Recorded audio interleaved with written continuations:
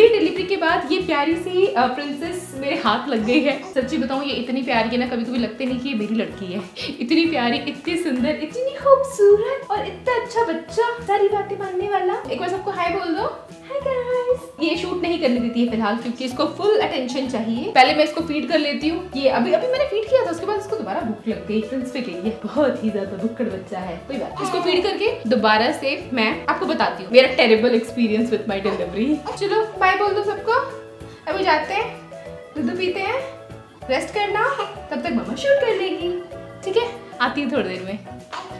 आप देख रहे हो बी नेचुरल, मैं हूँ रेखा। आज मैं आपके साथ शेयर करने वाली हूँ मेरी नॉर्मल और सी सेक्शन की delivery story without further let's get started तो सबसे पहले सवाल, कि मेरी नॉर्मल डिलीवरी हुई है या मेरा सी सेक्शन हुआ है? तो दोनों हुआ है। और वो दोनों कैसे हुआ है, वो मैं आपको बताती हूँ। हम वेट कर रहे थे पेन का, कि मेरे लेबर पेन स्टार्ट हो तो हम नॉर्मल डिलीवरी का प्रोसेस स्टार्ट करें। बट पूरे चालीस हफ़्ते बीत गए। चालीस हफ़्ते मतलब बहुत सारे लोगों का कॉमेंट आने लग गया था, आपकी प्रेगनेंसी को तो दसवां महीना लग गया। हाँ तो बहुत सारे लोग ऐसे कैलकुलेट कर रहे थे कि एक महीने में होते हैं चार हफ़्ते और नौ महीने में टोटल हुए थर्टी सिक्स हफ़्ते। तो थर्टी सिक्स हफ्तों के अंदर आपकी डिलीवरी हो जानी चाहिए थी, लेकिन जब मेरा चालीस हफ़्ता कंप्लीट हो गया तो ऑलमोस्ट लोगों को लगा कि ये तो दसवां महीना भी स्टार्ट हो गया, इनकी डिलीवरी क्यों नहीं हुई? तो ऐसा नहीं होता है, एक महीने में चार हफ़्ते तो होते हैं, लेकिन कभी कभी पाँच हफ़्ते भी होते हैं अगर आप कैलकुलेट करो तो क्योंकि महीने में डेज़ ऊपर नीचे होते रहते हैं। तो उस हिसाब से देखा जाए तो बोलते हैं प्रेगनेंसी चालीस हफ्तों की होती है, जो की दस महीने हुए, लेकिन थर्टी वीक के बाद बच्चा पूरा फुल टर्म हो जाता है, लेकिन डॉक्टर्स और वेट करते हैं। दो तीन हफ़्ता एक्स्ट्रा लेके चलते हैं, कम ज़्यादा हो सकता है। तो किसी की डिलीवरी थर्टी सेवन वीक में भी होती है थर्टी एट वीक में भी होती है thirty nine and forty week में भी डिलीवरीज होती है। ठीक है तो मेरा तो चालीस हफ़्ता पूरा गुजर गया, नौ महीने खत्म हो गए, पर मेरी बेबी को बाहर नहीं आने का था।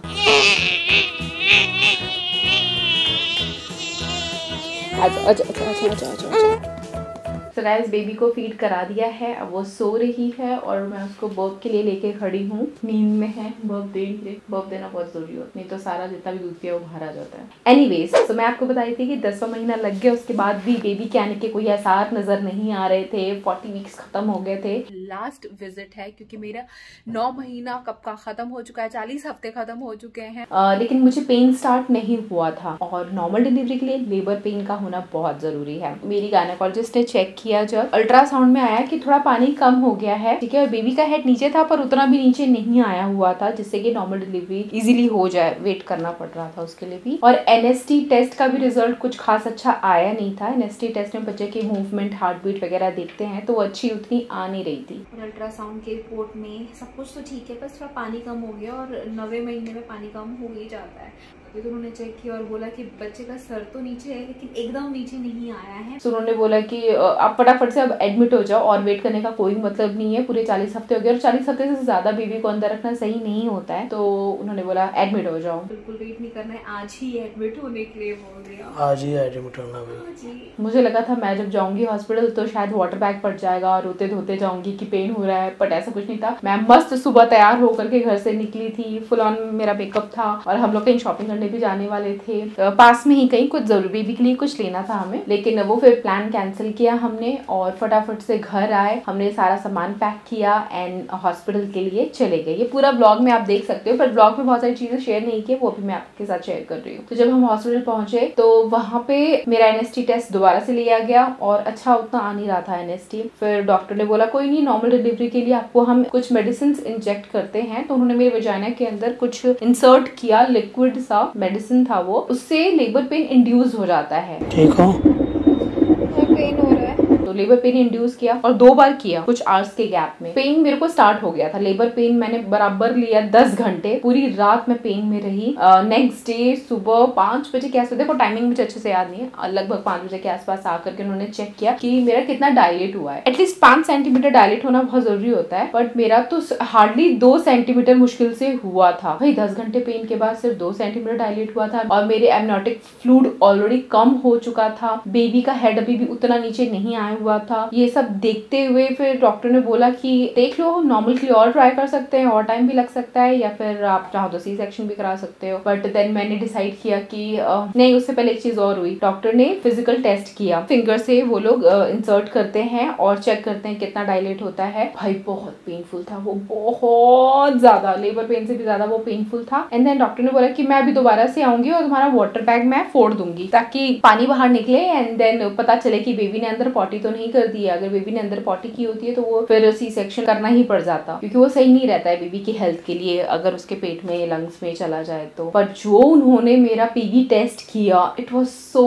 पेनफुल और मैं हर तरीके से हताश हो गई कि अभी तो मेरा वाटर लेवल कम हो रहा है बेबी नीचे नहीं हो रहा है, दस घंटे लेबर पेन के बाद डायलेट भी नहीं हुआ और ये इतना पेनफुल है। ये मेरा फ़र्स्ट बेबी है। मेरी हाई रिस्क प्रेगनेंसी थी स्टार्टिंग में। थायरॉइड भी था मुझे। ऑलरेडी मेरे दो मिसकैरेजेस भी हो चुके थे तो मेरे को कोई रिस्क नहीं लेना था। मेरे ऊपर छोड़ दिया था डॉक्टर ने आपको क्या डिसीज़न लेना है। तो मैं बिल्कुल भी रिस्क नहीं लेना चाहती थी। एंड देन वी डिसाइडेड कि let's go for C section पानी कम हो, होता जा रहा है हम और वेट नहीं करेंगे। देन सुबह के छह बजे मेरे को गाउन वगैरह पहना है। पहले नहाने के लिए बोला। नर्स आती है। नर्स नहीं कहते उनको कुछ और कहते हैं मुझे नहीं पता। वो माउशी होगी शायद। यहाँ पे माउशी बोलते हैं। उन्होंने मेरे को नहलाया। बहुत ऑकवर्ड था। मैं नहा सकती हूँ। उन्होंने कहा नहीं मैं रहूँगी आपके साथ। तब तक मेरे हाथ पे वो लगा दिया था जिससे पानी चढ़ता है ग्लूकोज वगैरह चढ़ता है। तो शायद उनको लग रहा होगा कि मैं बेहोश भी ना हो जाऊँ या फिर वीक ना रहूँ। जो भी था, वो मेरे साथ थी और उनके सामने मैं नहाई। मतलब उन्होंने ही नहलाया एक्चुअली एंड देन मुझे व्हील चेयर पे बिठाया। मैं यार, मैं तो खुद चल के जा सकती हूँ, लेकिन ऐसे ही प्रोसेस होता है। और भगवान का नाम लेकर के मैं निकल पड़ी सी सेक्शन के लिए। मैंने पहली बात कर रखी थी कि प्रिंस को वो अंदर आने देंगे और वो कॉर्ड भी बच्चे की काटेंगे। ये परमिशन हमने ली थी डॉक्टर से और उस बेबी का फ़र्स्ट क्राई रिकॉर्ड करेंगे। ये भी परमिशन ली थी। And then C section delivery के लिए मैं ऑपरेशन रूम में पहुँची। रूम बहुत बड़ा था और ऊपर एक लाइट थी, बहुत तेज सी। छोटा सा बेड था। शायद सो गई, मैं सुला के देखती हूँ। सो बेबी अभी सो गई है। मस्त गहरी नींद ले रही है। तब तक मैं आपसे बात करती हूँ और अपना एक्सपीरियंस आगे शेयर करती हूँ। तो इतना छोटा सा बेड था यार। बहुत ही छोटा। मुझे लगा, यार, मैं गिर जाऊँगी इस बेड पे। कहाँ लिटा रहे हैं मुझे? अंदर मेरे, मैं कुछ नहीं बोल रही थी। मैं एकदम चुप थी, डरी, सहमी। भगवान का नाम लिए जा रही थी और मुझे लग रहा था कि मैं मैं क्यों प्रेग्नेंट हो गई? टू बी रियली ऑनेस्ट मैंने किसी को नहीं बताया। प्रिंस को भी नहीं बताया। मैं आपको बता रही हूँ। मैं मन में सोची थी, मैं क्यों प्रेगनेंट हुई? मुझे नहीं हो रहा था। मैं क्यों प्रेगनेंट हुई? क्या क्या हो रहा है? मुझे इतना डर लग रहा था। यार, जो भी है C section is a major surgery. Surgery तो है, सर्जरी के नाम से ना पैर काँप रहे थे मेरे, और मैं बहुत शिवर कर रही थी, क्योंकि मेरी लाइफ में कभी सर्जरी नहीं हुई, मैं कभी हॉस्पिटल में एडमिट नहीं हुई। बहुत बहुत डर लग रहा था, हद से ज़्यादा मैं बता भी नहीं सकती आपको। उस टाइम में अपने आप को कोस रही थी कि मैं क्यों प्रेगनेंट हुई, क्यों ये हो रहा है मेरे साथ, ये क्या हो रहा है। और मैंने बहुत सारी लोगों की ना सी सेक्शन डिलीवरी स्टोरी सुन रखी थी तो उन लोगों ने तो ऐसा कुछ बताया ही नहीं था। मुझे लगता यार, उन वीडियोस में तो ऐसा कुछ नहीं था, ये सब क्या हो रहा है मेरे साथ? हालाँकि किसी का कहना और खुद एक्सपीरियंस करने में फ़र्क होता है। आप भी मुझे सुन रहे हो, लेकिन कभी आपके साथ ऐसा हुआ तो आपको वो फीलिंग ही अलग आएगी। उन्होंने मुझे लिटा दिया एंड देन मुझे बोला कि उठ के बैठो और ऐसे बेंड डाउन हो जाओ, ऐसे झुको झुको, मेरे सिर पे हाथ रखे ऐसे मुझे झुकने को कह रहे थे, झुको झुको, और झुको और झुको। अब आगे इतना बड़ा पेट था मेरा। मेरी प्रेगनेंसी में मेरी टमी बहुत ज़्यादा निकली हुई थी, और वो मेरे को झुको झुको बोल रहे थे, और मैं इतना डिस्कम्फर्ट फील कर रही थी बट मैं हो गई। उसके बाद उन्होंने मेरे पीछे इंजेक्शन लगाया। वो एनेस्थीसिया का इंजेक्शन था आई थिंक जिससे बॉडी सुन हो जाती है मतलब ब्रेस्ट के नीचे वाला एरिया सुन हो जाता है। ताकि ऑपरेशन का पेन आपको फील ना हो। पिंच सा हुआ ऐसा ऐसा ऐसा बहुत ज़्यादा दर्द नहीं हुआ। मतलब किसी ने आपको ऐसे पिन मारी है इंजेक्शन जितना लगता है उतना ही दर्द हो मुझे कुछ खास दर्द नहीं हुआ। उसके बाद उन्होंने मेरे को लटा दिया और ये होने के विद इन फ्यू मिनट्स मेरी पूरी बॉडी एकदम भारी मतलब पैर ऐसे झन भारी से होने लग गए और धीरे धीरे सुन हो गए। मैं फील नहीं कर पा रही थी अपने पैर, पूरा नीचे की बॉडी पूरा फील नहीं हो पा रहा था मुझे। कुछ तो सोल्यूशन लगा रहे थे मेरी बॉडी पे। ब्राउन कलर का था, मुझे नहीं पता क्या। मेरी बॉडी को क्लीन करने के लिए ब्राउन सा, पूरा पेट पे पीठ पे थाइस पे वो ब्राउन सोल्यूशन लगाया था और ठंडा ठंडा लग रहा था और ऐसे लग रहा था पेंट कर रहे हैं मेरी बॉडी को। फटाफट फटाफट लगा रहे थे, उसके बाद इंजेक्शन दिया था उन्होंने तो वो समझ नहीं आता हो क्या रहा फिर मैं लेट गई। उसके बाद मेरे ऊपर जो लाइट थी ना, उस लाइट में ना एक मिरर टाइप का था और वहाँ से रिफ्लेक्शन नज़र आ रहा था कि वो क्या कर रहे हैं यहाँ पे। मैंने देखा कि उन्होंने कुछ ऐसा उठाया और वो कट लगाया। फिर यहाँ पे कट लग रहा था, मैं देख पा रही थी। मैंने देखा है, जितने लोग सी सेक्शन डिलीवरी हॉस्पिटल का पूरा शूट करके बकायदा दिखाते हैं स्पेशली फॉरनर्स ज़्यादा दिखाते हैं। इंडिया में उतना लोग नहीं खाते तो उनके तो यहाँ एक ग्रीन शीट सी होती है, देख नहीं पाते। लेकिन मेरे यहाँ सामने कोई ग्रीन शीट नहीं थी। मैं थोड़ा सा सर उठा के ऐसे देखती तो मुझे दिखता क्या हो रहा है। या मिरर में भी दिखता मुझे ऊपर। लेकिन मैं ऐसा डरी जब उन्होंने फ़र्स्ट कट लगाया, मैं ऐसा डरी मैंने आँखें बंद कर ली। मैंने नहीं देखा। मैं देख सकती थी, लेकिन मैं डर के मारे मैंने नहीं देखा। उसके बाद थोड़ी देर बाद मेरा हाथ किसी ने पकड़ा तो मैंने देखा कि प्रिंस आके बैठे हुए हैं। मैं जब वहाँ लेटी हूँ, पाँच मिनट के अंदर बच्चे की रोने की आवाज़ आ गई।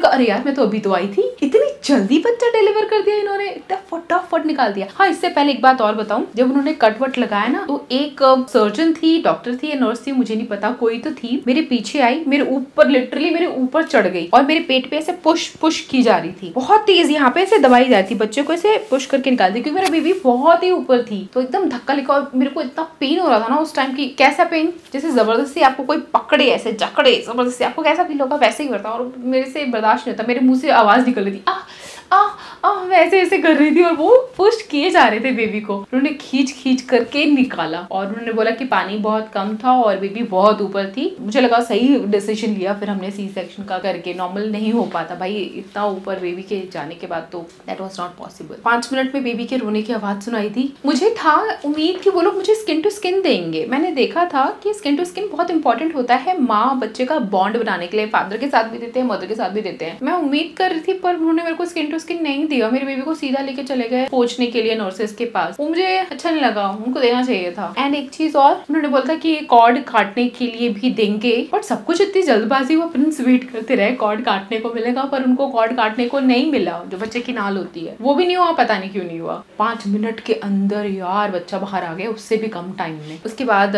प्रिंस ने थोड़ा बहुत रिकॉर्ड भी किया था बेबी जब आई थी मेमोरी के लिए, ज़िंदगी भर हमें याद रहेगा, ये स्पेशल मोमेंट फिर नर्स लोग लेके गए बच्चे को पोछने के लिए। मैं तब तक फिर वहाँ लेटी रही क्योंकि अब अब जो उन्होंने मेरा कट किया था, पता है कट कहाँ किया? जो बिकनी लाइन होता ना लो वेस्ट जीन्स जहाँ पहनते हो, एकदम बिकनी के ऊपर, मैं पिक्चर में दिखा दूँगी, एकदम यहाँ कट मारा। पहले तो एकदम लंबा सा सी सेक्शन का कट होता था ना, वो डेंजरस लगता था देखकर कितना लंबा कट फीट में। फिर उसके बाद ऐसे वाला कट हम देखते आए हैं, लेकिन इतना लो कट होगा, वो मुझे नहीं पता था बट अच्छा यार, इतना लो कट नज़र भी नहीं आता। और इतने परफेक्शन के साथ डॉक्टर ने मेरे स्टिचेस किया ना कि जब बाद में उन्होंने मुझे दिखाया, देखो अपने स्टिचेस मुझे पता ही नहीं चल रहा था कि कहाँ पे उन्होंने कट मारा है, कहाँ स्टिचेस लगाए। ये देखो, ये जो बाल है ना, होते ना, अपने बाल देखना, ऐसे नज़र आ रहे हैं मेरे स्टिचेस ऐसे इतने से। बहुत अच्छा उन्होंने स्टिच किया था। तो लगभग ट्वेंटी मिनट्स के अंदर उन्होंने मेरे टाके लगा दिए थे। उसके बाद मैंने बेबी को देखा, बहुत प्यारी लग रही थी, बहुत ही सुंदर बच्चा।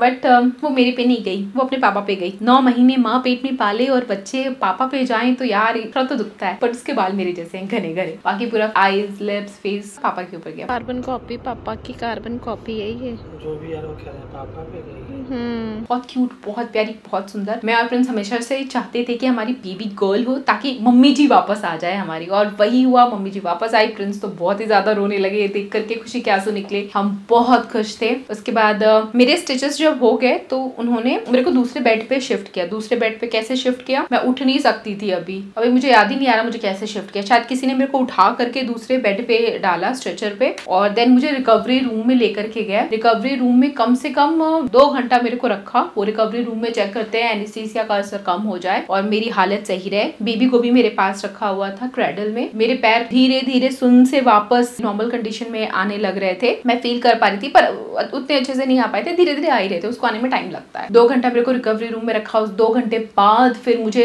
अगेन दूसरे बेड पे शिफ्ट किया। मैं खुद से नहीं हो पा रही थी, मुझे हेल्प किया उन्होंने शिफ्ट होने में। मतलब ऐसे खिसकते खिसकते, ऐसे लेट करके खिसकते खिसकते दूसरे बेड पे शिफ्ट हुई। बम के बल पे बम और बैक के बल पे। पैर उतना अभी भी काम कर नहीं पा रहे थे और क्योंकि टाके लगे थे तो मैं भाई कुछ कर ही नहीं सकती थी उतना। पेन में मुझे कुछ नहीं हो रहा था, क्योंकि एनेस्थीसिया का असर अभी भी था। तो सी सेक्शन की पूरी डिलीवरी प्रोसेस में पेन कहीं नहीं हुआ। नॉर्मल डिलीवरी में पेन हुआ और बहुत हुआ। दो सेंटीमीटर डायलेट हुआ था और जान निकल गई थी उसी पेन में। उसके बाद मुझे मेरे रूम में शिफ्ट कर दिया गया बेबी को भी। कुछ घंटों बाद एनेस्थीसिया का असर पूरी तरह से खत्म हो गया था। मैं पैर मूव कर पा रही थी शायद चार पाँच घंटे बाद ही। एंड देन डॉक्टर ने बोला था कि मैं शाम को आऊँगी। सुबह छह बजे मेरा ऑपरेशन हुआ था और डॉक्टर ने बोला, मैं शाम को आऊँगी। तुम्हें चल करके दिखाना होगा। तभी मैं तुम्हें यहाँ से फ्री करूँगी। मैंने कहा, नहीं नहीं कर सकती। उन्होंने कहा, करना पड़ेगा। तो वो आई आठ बजे के आसपास और उन्होंने बोला, चलो चल के दिखाओ। बड़ी मुश्किल से बिस्तर से उठी। एंड देन मैं चल पा रही थी। मैं वॉक कर पा रही थी। फिर भी मेरे सपोर्ट के लिए दो नर्सें मेरे साथ थी बट मैं चल पा रही थी उनका हाथ पकड़ करके। Doctor was also happy to see कि मैं, मैंने बहुत जल्दी रिकवरी कर ली। इतने अच्छे से नहीं वॉक कर पाता, काफ़ी ज़्यादा लंबा कैलरी में वॉक कराया। पेन तब भी नहीं था। शायद उन्होंने पेन किलर्स दिए हुए थे मुझे स्ट्रॉन्ग में जितने भी दिन हॉस्पिटल में रही, मुझे पेन नहीं हुआ। उन्होंने बहुत अच्छे और स्ट्रॉन्ग पेन किलर्स दिए हुए थे मुझे। लेकिन हाँ मुझे बिस्तर से उठने में, बैठने में और बाथरूम जाने में हेल्प की ज़रूरत पड़ रही थी। तो नर्सेज और मेरे हस्बैंड हेल्प कर रहे थे मुझे इन सब चीज़ में, मैं अकेले नहीं कर पा रही थी। और जब आपका सी सेक्शन हो या नॉर्मल डिलीवरी हो, आपके पीरियड्स तभी से आना स्टार्ट हो जाते हैं। तो नर्सेज ने मुझे पैड पहनाया था। थोड़ा डिफरेंट पैड होता है उनका कुछ। मतलब वो पैंटी नहीं पहनाते, सिर्फ़ पैड पहनाते, वो बाँध देते हैं। कमर पे बाँध दिया था। पहले नाड़ा शायद पहनाया होगा, उसके बाद बांधा होगा। मैंने देखा नहीं बट मेरे को इतना पता था मैंने पैंटी तो नहीं पहनी, इन्होंने पैड मुझे पहना रखा है। दो पैड अटैच करके। ब्लीडिंग हुई थी। बहुत ज़्यादा भी नहीं बट हाँ अच्छी खासी ब्लीडिंग हुई थी। वो बार बार आते चेक करते और मेरा पैड चेंज करती थी। मेरे सी सेक्शन को जब बारह चौदह घंटे हो गए, तब उन्होंने बोला कि आप पानी पीना स्टार्ट कर सकते हो फिर जूस वूस देना स्टार्ट किया फिर सेमी सॉलिड डाइट दिया और उसके अगले दिन से फिर मुझे उन्होंने प्रॉपर डाइट देना भी स्टार्ट कर दिया था प्रॉपर खाना। उन्होंने बोला पूरा बैलेंस डाइट खाओ आपके खाने में सब होना चाहिए दाल चावल रोटी फल फ्रूट सब्ज़ी दही दूध सब खाओ। तो हेल्दी डाइट लेने के लिए मुझे बोला है। वहाँ का खाना बहुत अच्छा था टेस्टी यमी और हेल्दी खाना था। काफ़ी अच्छे यहाँ पर फैसिलिटी थी खाने की हो या डॉक्टर की हो। डॉक्टर बहुत अच्छी थी मेरी throughout the pregnancy she has helped me a lot उनकी गाइडेंस में देखो थायराइड था मिसकैरेजेस थे हाई रिस्क प्रेगनेंसी थी पेट बहुत ज़्यादा निकल गया था वाटर लेवल कम हो रहा था बेबी ऊपर ही था। इतनी सारी प्रॉब्लम्स आई मेरी प्रेगनेंसी में जो हर प्रेगनेंसी में कुछ ना कुछ प्रॉब्लम्स आती रहती हैं। दैट इज़ नॉर्मल बट मेरी डॉक्टर ने बहुत अच्छे से uh, मुझे गाइड किया अपना वर्क परफेक्ट किया स्टिचेस परफेक्ट लगाए। नज़र भी नहीं आते कि स्टिचेस हैं कहाँ पे। मेरा डिजोल्व होने वाला स्टिचेस लगाया था। अपने आप जो घुल जाते हैं वो टाके खोलना नहीं होता। बहुत परफेक्ट लगाया था। I am so with her work hospital भी बहुत अच्छा था वहाँ का एक्सपीरियंस भी अमेजिंग रहा। नर्सेज बहुत हेल्पफुल थी। बार बार आकर के बेबी को फ़ीड कराने में सी सेक्शन के बाद बेबी को खुद फ़ीड कराने में बहुत डिफिकल्टी आती है। तो नर्सेज आती थी मुझे हेल्प करती थी फ़ीड कराने में। ब्रेस्ट फीडिंग के ऊपर अलग से वीडियो बनाऊँगी क्योंकि इसकी भी एक अलग जर्नी रही है मेरी। सो so, सारा एक्सपीरियंस बहुत अच्छा था। हस्बैंड ने सब कुछ अकेले मैनेज कर लिया। स्टाफ बहुत कॉपरेटिव था और भगवान ने आशीर्वाद और साथ दिया अपना। तो हमारी बेबी अच्छे से हेल्दी दुनिया में आ गई। Thanks for your blessings and wishes guys और भी बहुत कुछ है जो शेयर करना चाहती हूँ वीडियो बहुत ही लंबी होगी आई थिंक वीडियो अब यही खत्म कर देती हूँ। अगर मैं कुछ भूल रही हूँ तो पार्ट टू में आपके साथ शेयर कर दूँगी। बाकी आप मेरे ब्लॉग चैनल देखो, वहाँ पे आपको विस्तार से सब कुछ जर्नी देखने को मिलेगी। बकायदा सब ब्लॉग भी शूट किया है हमने। मिस्टर मेरे ब्लॉग चैनल का नाम है डू सब्सक्राइब दैट लास्ट चीज़ मैं आपको बताना चाहूँगी, लोग जो कहते हैं और जो मैं अब तक सुनती आई हूँ कि सी सेक्शन खतरनाक होता है, नहीं कराना चाहिए। बैक में पेन रहता है, ज़िंदगी भर के लिए आपकी ज़िंदगी बर्बाद हो जाती है। अभी मेरे को ऑलमोस्ट एक महीना हो गया सी सेक्शन किए हुए और मैं आपको बता सकती हूँ। सी सेक्शन के लगभग दस दिन के अंदर अंदर मेरा पेन ठीक हो गया था स्टिचेस का। स्टिचेस का पेन होता है। हॉस्पिटल में जब मैं थी डॉक्टर ने स्ट्रॉन्ग पेन किलर्स दिए थे। मेरे को पेन नहीं होता था, लेकिन जब मैं घर आई तो मुझे यहाँ पे पेन होता था। उठने, बैठने वॉशरूम यूज़ करने के लिए, नहाने के लिए बहुत दिक्कत आई। मेरे को बहुत पेन होता था, मैं खुद से कुछ कर ही नहीं पाती थी। लेकिन विद इन टेन डेज़ मेरा पेन खत्म हो गया। स्टिचेस में कोई प्रॉब्लम नहीं है। मेरे बैक में भी कोई पेन नहीं है, जो लोग कहते हैं सी सेक्शन के बाद एनेस्थीसिया जो देते हैं पीछे, वहाँ उसकी वजह से आपको पेन होता है। मेरे साथ ऐसा कुछ मे भी मेरी डॉक्टर बहुत अच्छी थी या मेरी बॉडी ने अच्छे से रिस्पॉन्ड किया। रीजन मुझे पता नहीं, लेकिन रिज़ल्ट मेरा ये है कि सी सेक्शन के बाद मुझे कोई प्रॉब्लम एज सच नहीं हो रही है। I am happy normal delivery होती तो बहुत ही अच्छा बेस्ट होता, मेरी रिकवरी और जल्दी हो जाती। बट अगर भगवान ने सी सेक्शन मेरे लिए डिसाइड किया था तो इससे भी मुझे सिर्फ़ दस दिन की दिक्कत आई, उसके बाद मेरी लाइफ में कोई दिक्कत नहीं है। मैं सब काम अपना अच्छे से मैनेज कर पा रही हूँ। No issue no problem at all तो अगर आपको तक सी सेक्शन से डर लगता आया है तो अगर आपकी डॉक्टर अच्छी है टिप्स फॉलो किए हैं डॉक्टर के बॉडी अच्छा रिस्पॉन्ड करती है तो सी सेक्शन से डरने की ज़रूरत नहीं है। मेरा अगला बेबी भी होगा तो मैं सी सेक्शन अगर हुआ तो मुझे कोई प्रॉब्लम नहीं है। I am happy for that ये वाला पार्ट में बताना भूल गई थी। जब मेरा सी सेक्शन हो गया था, उसके बाद आप कुछ घंटों के लिए उठ नहीं सकते हो, आपको लेटे रहना पड़ता है, और ऐसे में अगर आपको यूरिन पास करना हो तो आप खड़े होकर तो जा नहीं सकते हो। तो इसके लिए आपको कैथेटर को इंसर्ट कर देते हैं, ताकि जब भी आपको यूरिन पास करना हो तो उसी पाइप के थ्रू यूरिन पास होता है और एक पैकेट सा होता है, उसके अंदर यूरिन कलेक्ट होता रहता है एंड बाद में वहाँ पे टेक केयर करने के लिए जो नर्सेज या मॉशीज वगैरह होती हैं तो वो आती हैं और वो बैग फुल हो जाता है तो वो यूरिन थ्रो कर देते हैं एंड देन अगेन वो लगा देते हैं ताकि जब अगेन यूरिन पास करना तो अपने आप पास होता जाए। और मेरे को कुछ पता भी नहीं चल रहा था कि मेरा यूरिन मैं पास कर रही हूँ, वो सब अपने आप हो रहा था क्योंकि वो अंदर पाइप इंसर्ट कर देते हैं। तो ये वाला एक पॉइंट मेरे से मिस आउट हो गया था। मैं आपको शो करना चाहती हूँ कि मेरा एक्चुअल में सी सेक्शन कहाँ पे हुआ था। तो कैमरा थोड़ा डाउन करके मैं आपको दिखाती हूँ। हमें लगता है कि यहाँ पे कट कट लगता होगा बट एक्चुअल में यहाँ कट लगता है, एकदम बिकनी लाइन के पास। तो जब मेरा सी सेक्शन हो गया, वहाँ पे टाके लग चुके थे और मैं जितनी भी पैंटीज अपने साथ लेकर के गई थी या घर आने के बाद एक्चुअली मैं जितनी भी पैंटी पहनती थी, वो लो वेस्ट की मेरी पैंटीज होती थी पिकनी लाइन पैंटीज में पहनती हूँ। तो मेरे से ये गलती हो गई और जिसकी वजह से मुझे बहुत पछताना पड़ा, बहुत मैं प्रॉब्लम में रही पंद्रह दिन तक, क्योंकि मैं जैसी पैंटी पहनती थी, वो सीधा टाको पे आ जाता था। सीधा टाको पे मेरी पैंटी का वो स्ट्रैप आता था, जिसकी वजह से मुझे वहाँ पे बहुत पेन होता था और मैं मेडिसिन भी लगाने को दिया था मुझे मेरे टाको पे। वो मेडिसिन चिपक जाती थी पैंटी के ऊपर और रगड़ खाती थी और मुझे दर्द होता था उस वजह से मैं बहुत अनकंफर्टेबल थी। और मैंने इस चीज़ को रियलाइज़ नहीं किया कि ये ये प्रॉब्लम हो रही है तो मैं इसको फिक्स कर सकती हूँ। दिमाग से ही निकल गया। हाई वेस्ट जो पैंटीज आती हैं एक्चुअली मेटर्निटी पैंटीज भी आती है। जैसे मेटर्निटी ब्रा आता है, वैसे मेटर्निटी पैंटी आती है जो कि आप पहनते हो तो ऊपर तक आता है। आपके नेवल के आसपास तक आता है। तो वो आपके टाकों के ऊपर उसका जो पट्टी है ना पैंटी का, वो चिपकता नहीं है, जिसकी वजह से आपको कोई प्रॉब्लम नहीं होती है। सो so, जब मेरे को अक्कल आई अपने आप एक दिन बैठे बैठे मेरे को ध्यान आया कि अरे मैं मेटर्निटी पैंटीज क्यों नहीं ले रही? स्किप हो गया मेरे दिमाग से पता नहीं बेबी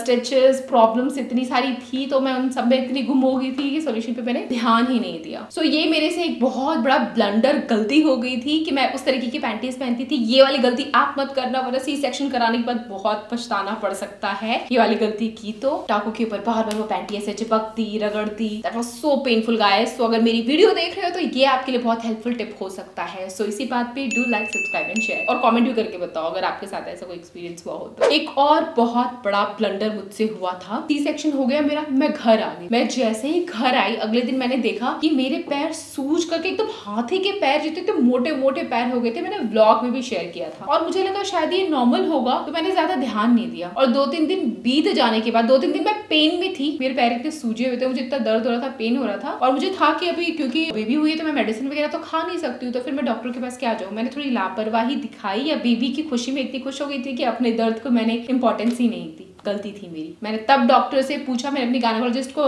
मैसेज किया, मेरे पैर की फ़ोटो भेजी और उनको बोला कि क्या करूँ मैं, मुझे बहुत पेन हो रहा है। उन्होंने मेरे को बोला कि पिल्लो रखो पैरों के नीचे रात को जब सो रहे हो और अपने पैर को गर्म पानी के अंदर डिप करके बैठो। बाद में मैं गायनोलॉजिस्ट से मिल करके भी आई थी तो उन्होंने मेरे को मेडिसिन भी प्रिस्क्राइब किया था तो मैंने मेडिसिन भी लिया था। तो वो जब रेमेडीज मैंने फॉलो की ना तो within two three days I think मेरे पैरों की स्वेलिंग खत्म हो गई थी। और जब तक ये रेमेडी नहीं की थी ना, इतने मोटे मोटे पैर, चलने में दिक्कत में चल नहीं पा रही थी। पैर एकदम पत्थर जैसे स्टोन जैसे फील हो रहे थे और मैं बहुत पेन में थी। तो अगर आपका डिलीवरी के बाद, चाहे सी से हो या नॉर्मल डिलीवरी हो डिलीवरी के बाद पैर इतने ज़्यादा सूज जाते हैं तो प्लीज़ डिले ना करें। अपने गायनाकोलॉजिस्ट को विज़िट करें या फिर ये ट्राई करें कि पिल्लो रखे पैर के नीचे और गर्म पानी में पैर से के पैर ठीक हो जाते हैं। ये तो कुछ ब्लंडर्स थे जो मेरी लापरवाही की वजह से मुझे झेलना पड़ा। आप लोग ऐसी गलती मत करना, नहीं तो बहुत प्रॉब्लम में पड़ सकते हो। होपफुली अब मैंने सारी चीज़ें कवर कर ली हूँ, जो रह गई थी। नहीं कवर कर पाई हूँ तो ब्लॉग में आपके साथ शेयर कर दूँगी। मेरा ब्लॉग चैनल है मिस्टर एंड सिस्टर मेरी बेबी के साथ मेरा लाइफ स्टाइल ब्लॉगिंग देखनी है तो do subscribe that newborn baby की बहुत सारी वीडियोस हम शेयर कर रहे हैं वहाँ पे तो ज़रूर आप देखना. तो ये सारे प्रॉब्लम्स आपको आपके डिलीवरी के बाद ना हो, इसलिए ये वीडियो को